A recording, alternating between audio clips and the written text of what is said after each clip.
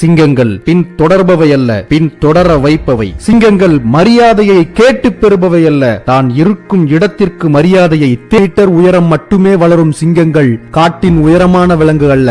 நூற்று தொண்ணூறு கிலோ எடை கொண்ட சிங்கங்கள் நான்காயிரம் கிலோ எடை கொண்ட யானையை விட பத்து மடங்கு சிறியது. சிறுத்தை மணிக்கு நூத்தி முப்பது கிலோமீட்டர் வேகத்தில் ஓடும். எண்பது கிலோமீட்டர் வேகத்தில் ஓடும் சிங்கங்கள் வேகமாக ஓடும் விலங்குகளின் பட்டியலிலேயே கிடையாது. பின்பு எந்த பண்பு சிங்கங்களை காட்டின் ராஜாக்களாக அடையாளப்படுத்துகிறது. எது ஒன்று சிங்கங்களை அரசனாக்கி அழகு பார்க்கிறது?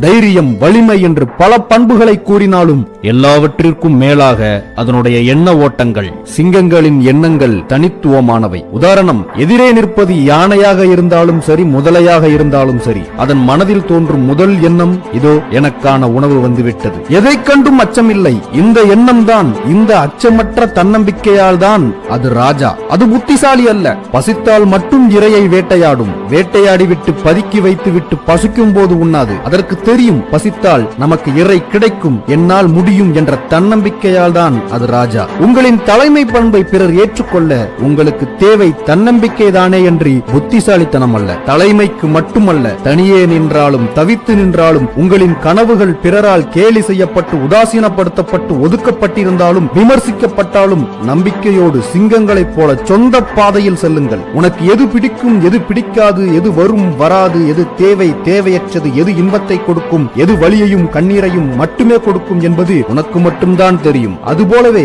உன் வலிமையும் தைரியமும் உனக்கு மட்டும்தான் தெரியும். அதனால் எல்லா செயல்களுக்கும் பிறரிடம் கருத்து கேட்க வேண்டியது அவசியமற்ற ஒன்று. நீங்கள் பயணிக்க போகும் பாதையை முடிவு செய்ய வேண்டியது நீங்கள்தான். நன்கு புரிந்து கொள்ளுங்கள். சண்டையில் வெற்றி பெற்றால் பிடரிமயரை பறக்க விட்டுக் கொண்டு அடுத்த இலக்குகளை நோக்கி செல்லப்போவதும் நீங்கள்தான். சண்டையில் தோற்றால் அதே பிடரிமயரை உலுக்கி ஒட்டிய மண்ணை உதறிவிட்டு மீண்டும் இலக்கை நோக்கி செல்லப்போவதும் சிங்கம் சிங்கங்களாகிய நீங்கள்தான் உங்களின் திறமைகளை சற்றும் அறியாமல் அறிவுரை மேல் அறிவுரை மட்டும் கூறிக்கொண்டு கூற தகுதியில்லாத நரிகளும் ஓநாய்களும் அல்ல. அப்படியெல்லாம் நரிகளின் ஊளைகளுக்கும் ஓநாய்களின் ஓலங்களுக்கும் பயந்தால் சிங்கங்களால் நேர்கோட்டில் பயணிக்க முடியுமா? இந்த கணம் நீங்கள் எப்படி வாழ்கின்றீர்கள் என்பதை நினைத்து பாருங்கள். நரிகளையும் ஓநாய்களையும் போலவா அல்லது சிங்கங்களைப் போலவா? வெற்றிகளை பெற நீங்கள் சிங்கங்களாக வாழ வேண்டும். உயர்ந்த கனவுகளை அடைய சிங்கங்களாக வாழ வேண்டும். லட்சியங்களை எட்டிப் பிடிக்க சிங்கங்களாக வாழ வேண்டும். இந்த பொடியனால் என்ன கிழித்து விட முடியும் என்று கேட்டவர்கள் முன்னிலையில் இதோ இந்த பொடியன் சாதித்து விட்டதை பார் என்று காட்ட சிங்கங்களாக வாழ வேண்டும். உண்மையான சிங்கங்கள் இறைக்காக காத்திருக்கும் பசியோடு இருக்கும். அதுபோல கனவுகளுக்காக காத்திருங்கள் பசியோடு இருங்கள். நேரம் வரும்போது உங்களின் இரையை ஒரு அடியில் ஒரே ஒரு அடியில் வீழ்த்துங்கள். சிங்கங்கள் பின் தொடர்பவை அல்ல பின் தொடர வைப்பவை. சிங்கங்கள்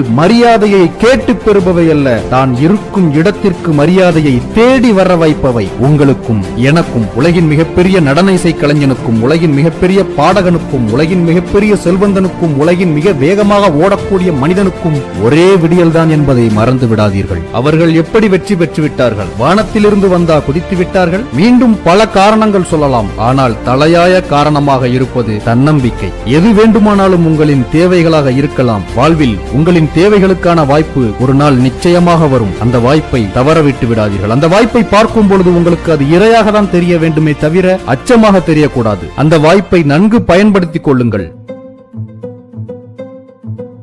எனது தோழர்களே தோழிகளே இறுதியாக ஒன்றை மட்டும் கூறிக்கொள்கின்றேன். சிங்கங்களாகவே இருந்தாலும் வயதாகிவிட்டால் மூப்படைந்து விட்டால் காயமடைந்து விட்டால் என்ன செய்ய முடியும்? தனக்கான உணவு தன் கண் முன்னே செல்வதை வேடிக்கைதான் பார்க்க முடியும். அதுபோல உங்கள் வாழ்க்கையிலும் நடக்க வைத்து விடாதீர்கள். வாய்ப்புகளை உதாசீனப்படுத்தி தட்டி கழித்து விட்டு பின்பு அதை நினைத்து வருந்துவதில் எந்த பயனும் இல்லை. ஆகவே இன்னும் வயதாகிவிடவில்லை உங்களின் வேட்டையை இப்போதே தொடங்குங்கள்.